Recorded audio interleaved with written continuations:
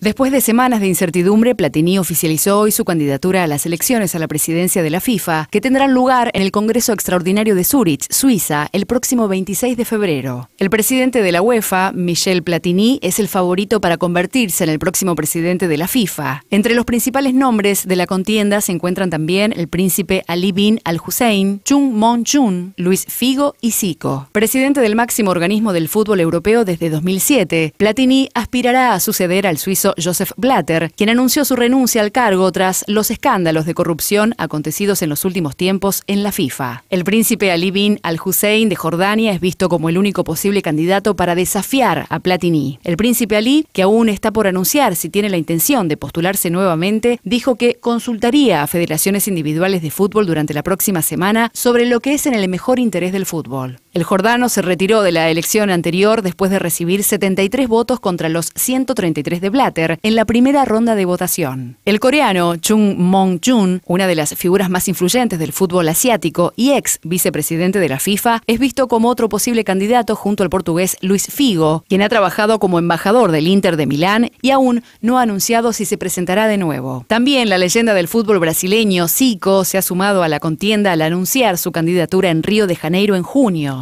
Sin embargo, al momento de su anuncio afirmó que no tiene el respaldo de cinco federaciones de fútbol, requisito necesario para cualquier candidato a la presidencia de la institución, y parece poco probable que obtenga un apoyo significativo. El ex director ejecutivo del Manchester United, David Gill, aparece también como una posibilidad a tener en cuenta en el futuro. Gill, vicepresidente de la Asociación de Fútbol Inglés, era un fuerte crítico de Blatter antes de la última elección y renunció al comité ejecutivo de la FIFA en protesta por la reelección del suizo. Los candidatos a la presidencia de la FIFA tienen hasta el 26 de octubre para formalizar oficialmente su presentación en las elecciones que tendrán lugar el año que viene en el Congreso Extraordinario de la FIFA en Zurich.